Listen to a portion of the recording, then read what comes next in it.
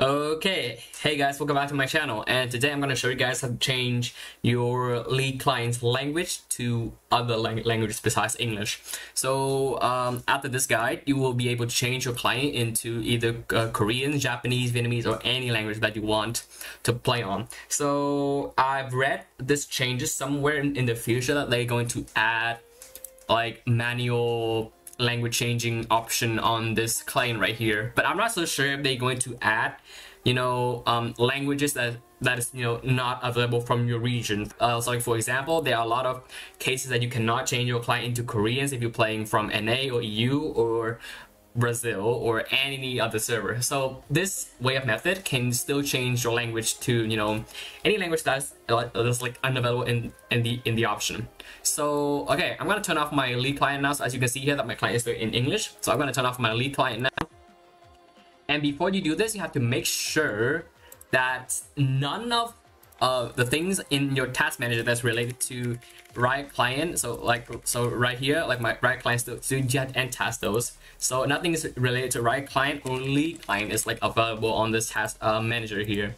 So what you're gonna do is that you close the task manager to click um, you right click on the League of Legends icon. If you're like Windows 11, show more options and you open file location. It's gonna direct you into the Riot client folder. So you're gonna go back to the Riot Games.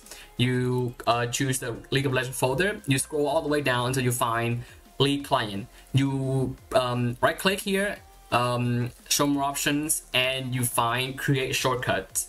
Now I are so now I already create one here. So you're just gonna copy this and you can leave, and you and you can just leave the shortcut in there just in case if you, if you want to change like other languages like later on. So you, so you're gonna paste your shortcut here. So I'm gonna change uh change this. Uh, okay, but uh, you have to you know delete this first. So rename this to um, League of Legends.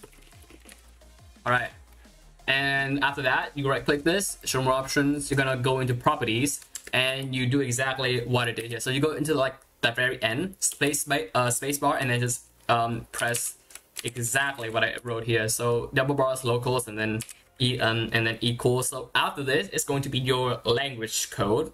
So I'm gonna leave some on the screen here just for you guys to um, you know uh, know that which language um you know what language you want to change it into. So in my case, I'm changing my client to Korean. So I'm gonna type KO KR here.